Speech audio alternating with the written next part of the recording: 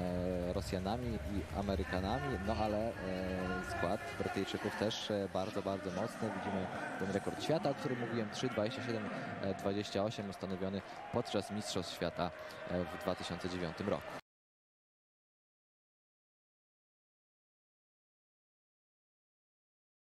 na pierwszej zmianie grzbieciści, a jeżeli chodzi o rywalizację indywidualną na 100 metrów stylem grzbietowym zwyciężył Chińczyk Xu, srebrny medal Evgeni Ryłow, e, trzeci był e, Mitchell Larkin, czwarty Ryan Murphy, wszyscy panowie poniżej 53 sekund, więc będzie tutaj dodatkowa możliwość na zrewanżowanie się choćby Murphy'emu e, do Chińczyka Xu.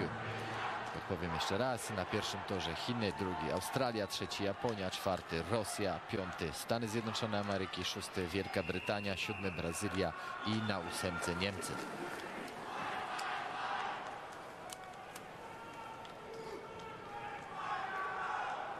W tym roku, e, przepraszam, w 2017 roku podczas Mistrzostw Świata w Budapeszcie triumfowali e, Amerykanie 3.27.91, e, drudzy byli Brytyjczycy, a trzecie miejsce przypadło wówczas Rosjanom. Zobaczymy jak będzie w Guangzhou.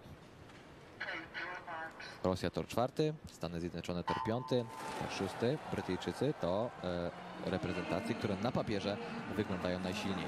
Fajnie byłoby się rozstać z tymi mistrzostwami, na przykład z rekordem świata, e, co jest e, w zasięgu Amerykan, e, drużyny amerykańskiej. Tak jak powiedziałeś, 4,27 na poprzedniej imprezie i tyle też samo, tylko z mniejszą końcówką wynosi rekord świata 3,27,29, a zawodnicy są już po pierwszej 50 metrach. Brazylijczyk najszybszy to Guillermo Guido. On na pierwszym miejscu na półmetku swojej zmiany.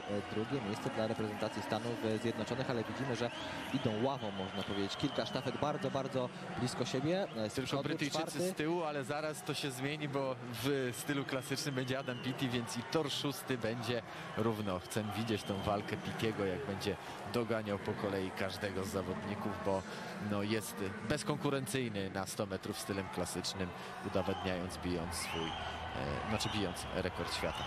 E, bardzo osłabł Guillermo Guido, e, który prowadził e, na półmetku swojej zmiany, ostatecznie dopłynął piąty, Brazylijczycy spadli, no a na prowadzeniu Rosjanie, tutaj Kirill Prigoda na czwartym torze, na torze piątym w reprezentacji Stanów Zjednoczonych Andrew Wilson, jak radzi sobie Adam Pitti, już wyprowadził Brytyjczyków na trzecie miejsce, właściwie egzekwo, drugie miejsce z reprezentacją Stanów Zjednoczonych, e, mocno z przodu Jewgeni Kirill Prigoda, reprezentant Rosji. Płynie szybciej niż e, międzyczas na rekord świata, także miejmy nadzieję, że Amerykanie e, Ale dołączą zobacz, jak do Pitti tej... się przesuwa. Tak jest, Pitti, niesamowita maszyna.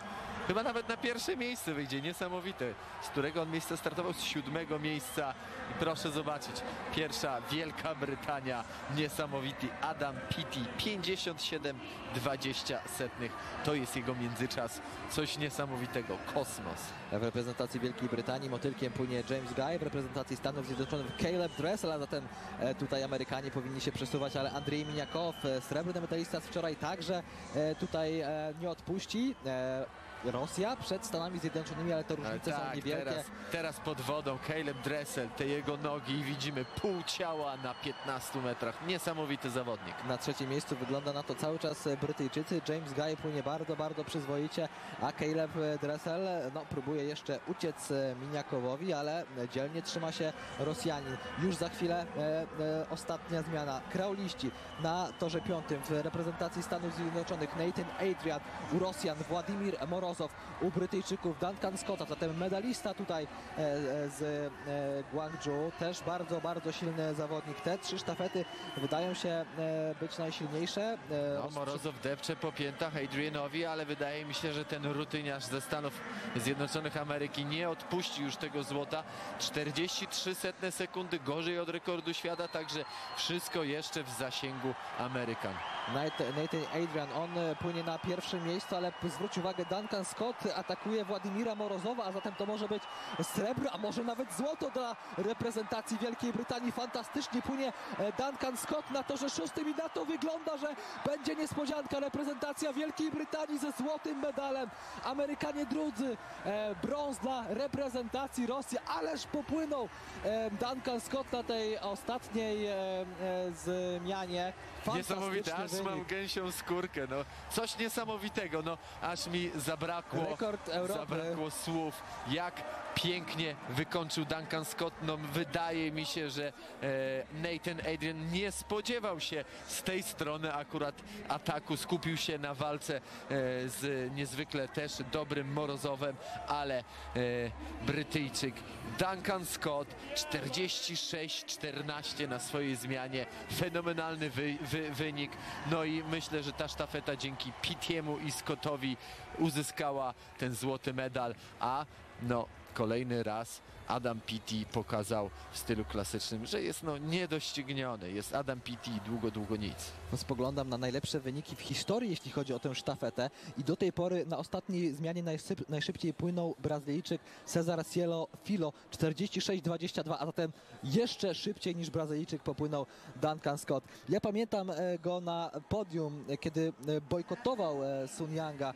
Sun Yang próbował go prowokować, wykonywał jakieś gesty, bardzo spokojnie stał e, Duncan e, Scott. E, Nie, nie przejmował się e, zaczepkami e, Sun Yanga. Teraz wystąpił w głównej e, roli e, na tej ostatniej zmianie.